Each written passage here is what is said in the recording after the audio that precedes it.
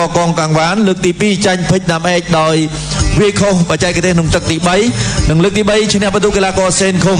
រកដួលគូប្រកួតដោយសន្លប់បបងចោលការប្រកួតនៅលើសង្វៀនបានចំនួន28លើកគេវឹកហាត់នៅក្នុងក្លឹបពុទ្ធសេរីវង្សអូសែនជ័យគ្រូបង្វឹកគឺលោកណនរិទ្ធសូមស្វាគមន៍និងណែនាំឲ្យលោកលោកស្រីអ្នកនាងកញ្ញាបានស្គាល់កីឡាករប្រដាល់សម្បូរស្នេហ៍ជើងមួយបែកភ្នំជង្គង់ហោះកណ្ដាប់ដៃគ្មានមេត្តាមឿនសុខោ រាជរដ្ឋណាចក្រថៃ បាទគេមានវ័យ27ឆ្នាំកម្ពស់1ម៉ែត្រ66ទម្ងន់65គីឡូក្រាមដូចគ្នារួមធ្វើការប្រកួតបានចំនួន96លើកឈ្នះ73លើកចាញ់20លើកនិងស្មើ3លើកនៅក្នុងការប្រកួត3ប្រកួត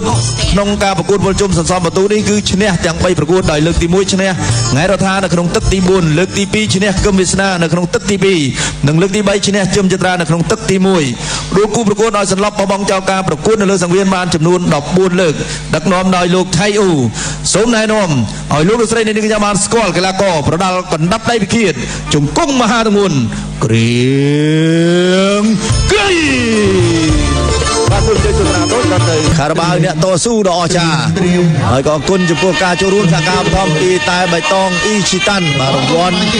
មហាសាលបាទហើយក៏ជាប្រវត្តិសាស្ត្របាទទឹកប្រាក់100លានរៀលបាទរហូតដល់ទៅ20រង្វាន់ឥឡូវនេះ បាទបន្ថែមបាទ30រង្វាន់ទៀតឲ្យគ្រប់50រង្វាន់ម៉ូតូស្គូពីអាយ20គ្រឿងថែមរហូតដល់ទៅ50គ្រឿងទូរស័ព្ទ iPhone 8 20គ្រឿងថែមបង្គ្រប់50គ្រឿងគម្របអ៊ីជីតានផ្លាស់ប្ដូរជីវិតរបស់លោកអ្នកណែកែឆ្វេងរបស់កីឡាករមឿនសុខុចលេងលេងចាំមើលមើលការប្រកួតនេះគឺជាការប្រកួតមួយសំខាន់សម្រាប់មឿនសុខុច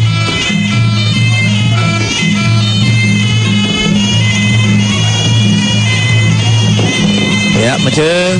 លុកស្ដាំម្ដាយសម្ដៅចុងដង្ហើមព្រៀងក្រៃកណ្ដាប់ដៃស្រឹមរបស់គេក៏ទម្ងន់ដៃធ្ងន់ទាត់ស្ដាំមកជើងប៉ះក្តៀតកមខាងឆ្វេងរបស់កីឡាករគ្រៀងក្រៃញាក់មកជើងថែមទៀតសុខុចប្រើជើងស្រាលនៅឡើយទេគីឡូក្រោមទាត់ទុតចូលកលាជើងមួយជើងវិញសងបាទបំពុកស្មងឆ្វេងរបស់កីឡាករគ្រៀងក្រៃញាក់ថែមមឿនសុខុចបង្គោលក្រហមគ្រៀងក្រៃបង្គោលគៀវសុខុចកីឡាករនៃព្រះរាជាណាចក្រកម្ពុជាគ្រៀងក្រៃគឺជាកីឡាករនៃព្រះរាជាណាចក្រថៃកំពុងតែវាស់ស្ទង់កម្រិតបាទបច្ចេកទេសទម្ងន់ជើងហើយកណ្ដាប់ដៃបាទបដូរសាកមើលទៅវិញទៅមកបាទចង់ដឹងថាទម្ងន់ដៃធ្ងន់ជើងធ្ងន់ដែរឬអត់ហើយមើលចំណុចខ្សោយរបស់គូប្រកួតរៀងៗខ្លួនទាត់ក្រោមប្រះថយផុតសុខុចកាប់ចានមកយើងកែងបេះមួយកែងទៀត ចាប់ផ្ដើមប្រើបាទបច្ចេកទេសល្អល្អប្រើប្រើហើយបាទបច្ចេកទេសដែលខ្លួនមានគាត់កំពុងជើងក្រោមរៀងខ្លួនថែមមកយើងទៅទៀតគាត់ថាអូបាទខ្សោយជើងក្រោមបាទខ្សោយគ្រឿងក្រោមមួយសុខុចមួយជើងហើយក៏មួយជើងទៀតរបស់កីឡាករគ្រៀងក្រៃឥឡូវនេះបាទយ៉ាងណាប្រហែលជាងើបមិនរួចទេអញ្ញាកណ្ដាលរាប់ដល់8បាទទៅទៀតដល់9 10អូយសោកស្ដាយមែនតើ បាទឥឡូវនេះឃើញថាឱកាសនៃការឈានទៅប្រកួតវគ្គផ្ដាច់ព្រាត់បាទយើងរកឃើញហើយបាទគឺជឹមចត្រាបាទដែលជា បាទអ្នកមានឱកាសបាទឈានទៅប្រកួតវគ្គផ្ដាច់ព្រាត់ព្រោះថាមឿនសុខុចបាទបើសិនជាការប្រកួតថ្ងៃនេះឈ្នះបាទគេបានឡើងទៅប្រកួតនៅក្នុងវគ្គផ្ដាច់ព្រាត់ក៏ប៉ុន្តែថ្ងៃនេះបរាជ័យបាទនៅក្នុងទឹកទី1ទៅទៀតបាទបានន័យថាប្រើពេលវេលាតែ2នាទីជាងដែរបាទមិនមិននេះគឺថាក្រៀងក្រៃបាទគាត់គាត់សម្ដៅជើងមឿនសុខុចបាទដោយសុខុចបោះបង់ចោលការប្រកួតនៅក្នុងទឹកទី1 ហើយធាក់មួយបាទយើងមើលអូចូលមកចំក្បាលជង្គង់បលាក់ជើងនឹងបាទហើយក៏ថែមមកយើងទៀតទៅលើបាទពាក់កដាលផ្លូវនឹង